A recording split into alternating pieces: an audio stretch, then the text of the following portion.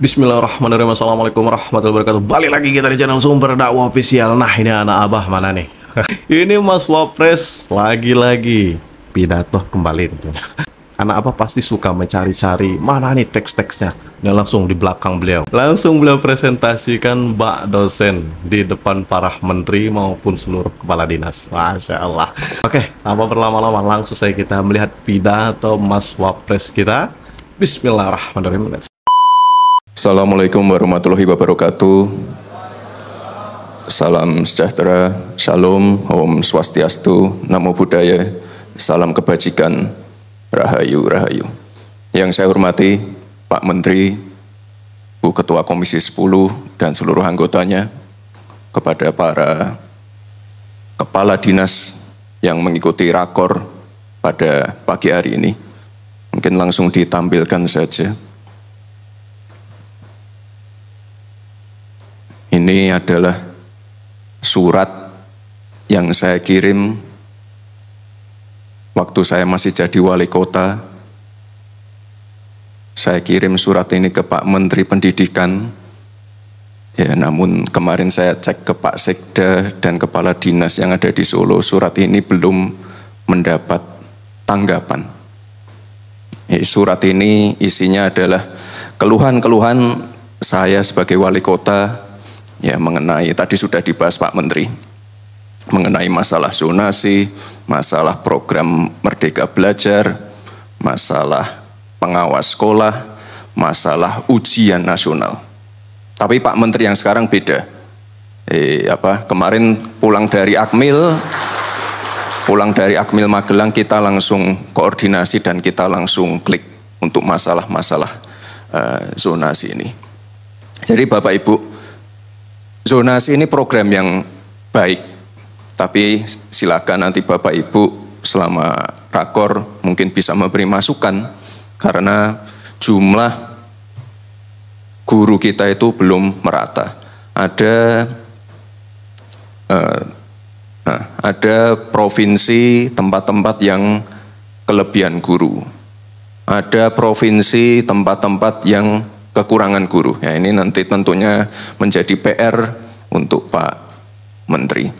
Jadi zonasi sekali lagi ini program yang baik, tapi mungkin belum bisa diterapkan di semua wilayah. Tapi waktu itu saya sebagai wali kota ya tentunya kita harus komplain dengan program yang di pusat. Kita ikuti program ini, tapi sekali lagi Bapak Ibu, tiap tahun permasalahannya sama komplain yang diarahkan ke saya sama terus. Tiap tahun berulang, berulang, berulang. Dan akhirnya saya bersurat, ya tapi tidak ditanggapi.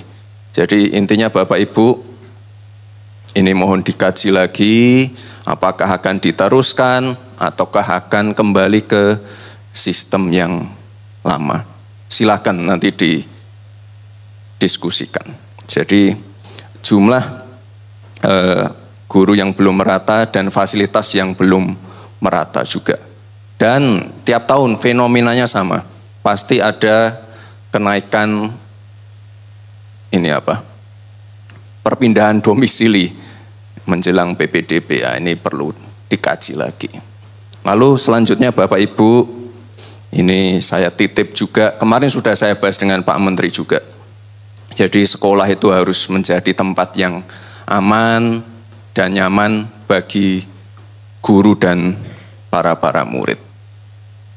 Ini jangan ada lagi kasus kekerasan, kasus bullying, jangan ada lagi kasus kriminalisasi guru. Ini ya salah satu contoh-contoh yang ada sekarang. Sudah ada undang-undang perlindungan anak. Tapi ya saya mohon maaf, jangan undang-undang perlindungan anak ini dijadikan senjata untuk menyerang para guru. Ini mungkin ke depan perlu kita dorong juga Pak Menteri undang-undang perlindungan guru. Jadi guru itu bisa nyaman dan juga guru mempunyai ruang untuk apa ya mendidik dengan cara-cara yang ya tetap disiplin, tapi harus ada uh, ya undang-undang dan perlindungannya. Jadi saya mohon Bapak Ibu jangan sampai ada lagi terjadi kasus-kasus seperti ini. Kemarin juga sudah kami bahas dengan Pak Menteri eh, bagaimana anak-anak yang menjadi korban kekerasan seksual dan lain-lain ini harus mendapatkan atensi khusus. Jangan sampai mereka malah dikeluarkan dari sekolah. Kalau bisa kita beri atensi khusus, kalau bisa dibangunkan sekolah khusus untuk mereka. Ini ini idenya Pak Menteri ya, bukan ide saya. Dan ini saya kira ide yang sangat baik dan saya kira nanti kalau dilaporkan ke Pak Presiden Pak Pak Presiden Prabowo, beliau pasti akan menyambut baik juga. Jadi sekolah khusus untuk para-para korban-korban kekerasan. Ini saya kira sangat baik sekali. Jadi jangan sampai mereka ditinggal, mereka tuh malah harus dapat ini apa? mendapatkan atensi khusus.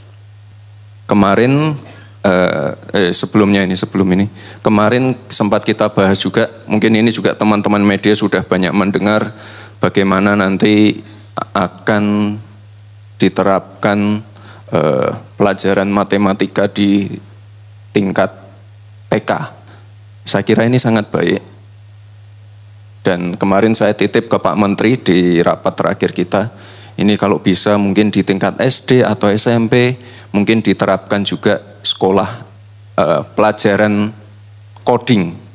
Jadi jangan sampai kita kalah dengan India, karena sekali lagi Bapak Ibu, ya untuk menuju Indonesia emas kita butuh generasi emas. Kita pengen lebih banyak lagi ahli-ahli coding, ahli-ahli ahli-ahli AI, ahli-ahli machine learning dan lain lainnya.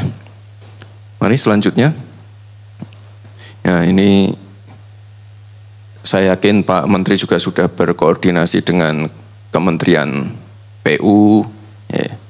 Anggarannya sudah ada. Ya, jangan sampai ada lagi sekolah-sekolah yang roboh, bocor. Jangan sampai ada lagi sekolah-sekolah yang rusak. Ini nanti silahkan Pak Menteri berkoordinasi dengan Pak Menteri PU, sekolah-sekolah mana saja yang nanti akan mendapatkan bantuan untuk negeri dan swasta. Jadi sekali lagi kita pengen kebijakan ini, anggaran ini bisa tepat sasaran sehingga langsung mengena ke penerima manfaatnya. Itu Terakhir Bapak Ibu, saya titip program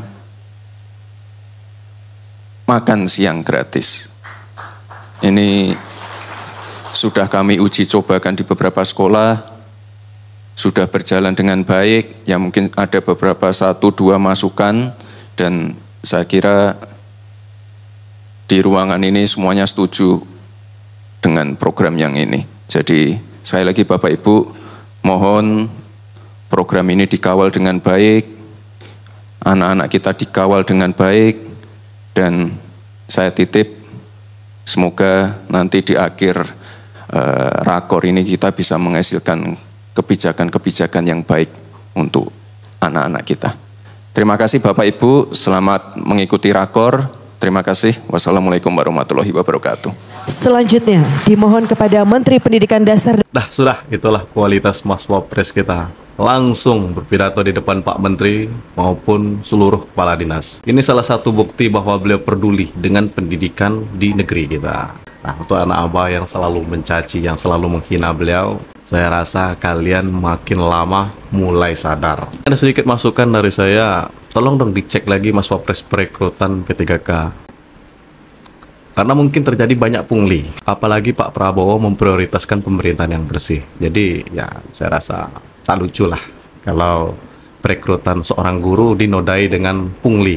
Jadi bagaimana mungkin kita ingin mencapai generasi emas atau generasi yang berkualitas sedangkan pendidiknya saja tidak berkualitas. Nah, saya akhiri tentunya kita harus support, kita harus dukung pemerintahan Pak Prabowo dan Mas Gibran. Selalu optimis dengan cara selalu berpikir positif dengan apa saja keputusan pemerintah. Saya akhiri wabillahi taufiq Assalamualaikum warahmatullahi wabarakatuh.